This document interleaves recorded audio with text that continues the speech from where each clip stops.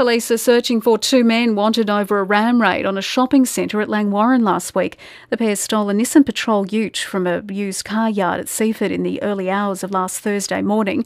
The vehicle was then driven through the front doors of the shopping centre, striking a freestanding ATM in the mall. They didn't get any money. The car was found burnt out at Carrum Downs.